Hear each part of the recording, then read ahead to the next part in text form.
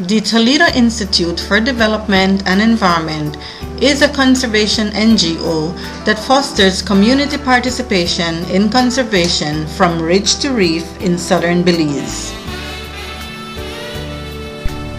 Manatee poaching along the coast of southern Belize and overfishing prompted members of coastal communities to establish an NGO to protect marine resources.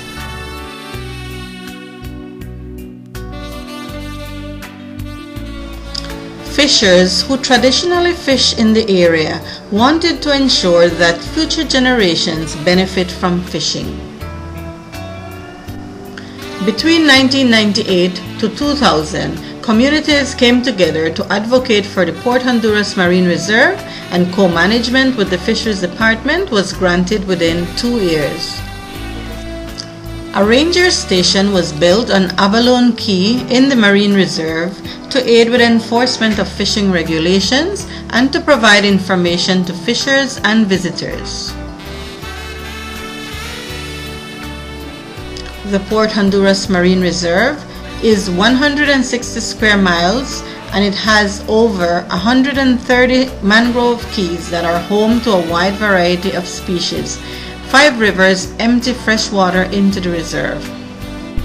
The fringing reefs of the Snake Cayes in the conservation zone are home to hundreds of reef fish and invertebrates and over 50 species of corals. Seagrass beds within the reserve are important habitats, nursery grounds, and feeding areas. Monitoring of ecosystems and key species is an integral component of the management of the reserve and TIDE engages community researchers in this aspect. There are several developments that impact the Port Honduras Marine Reserve including shrimp farming and aquaculture, overfishing of lobster, conch, and finfish, particularly by fishers of neighboring countries. Along with the management of the Port Honduras Marine Reserve, TIDE co-manages the Paynes Creek National Park with the Forest Department. This park is adjacent to the Port Honduras Marine Reserve. This is an aerial view of the Paynes Creek National Park that is mainly pine savanna but includes broadleaf forests and estuaries. This estuary within the Paynes Creek National Park is popular for sports fishing and TIDE conducts water quality monitoring within the park and adjacent rivers. The Aracari bird is a popular bird in the park. There are several threats to the Paynes Creek National Park including logging and hunting. Wildfires, mostly set intentionally by hunters of game species, are common. The Paynes Creek National Park is home for the endangered yellow-headed parrots and we take pride in protecting their nesting sites. In 2001, TIDE was a recipient of funds from a Debt for Nature swap agreement and we purchased land in key areas within the Maya Mountain Marine Corridor for conservation purposes. Today, TIDE manages over 20,000 acres of private protected lands for the people of Belize.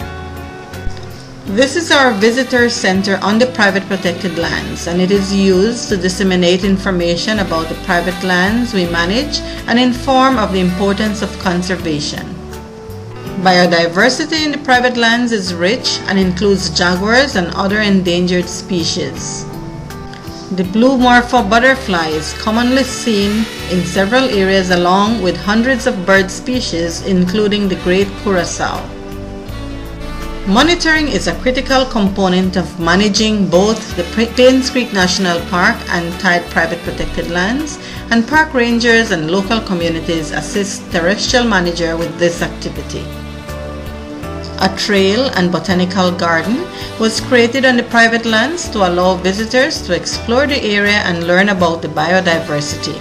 Visitors are welcomed to the TIDE private protected lands.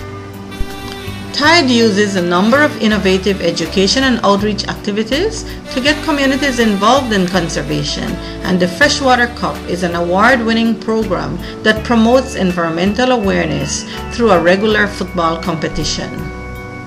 Children are excited to participate in this program as they play in a football competition and also implement a conservation project in their community. A newly initiated Community Stewards program has provided capacity building and education to 15 resource users to enhance their stewardship. Training for stewards included marine and terrestrial ecosystems, GPS use, fire management, communication skills, terrestrial and marine laws, and computer skills. Another interesting outreach activity is the Tide Fish Fest, which is a weekend event with a fishing tournament, cultural entertainment, and all the activities that promote conservation. The Tide Weekend also includes a youth conservation competition that raises awareness of global environmental issues and provides scholarships for high school students. Tide hosts a number of traveling exhibits and brings children from local communities to experience them. In this exhibit, children learn about coral reefs from the Traveling Caribbean Reef exhibit. We also offer an introduction to birding for children and adults, and it's fun to see children demonstrating an appreciation for birds. This is a training session by the Tide terrestrial biologists teaching youths to identify birds. We work with schools and community stewards in planting hundreds of trees in deforested areas and host summer camps in stakeholder communities to get children interested and informed about the importance of conservation in Belize. Tide, leading conservation through community participation.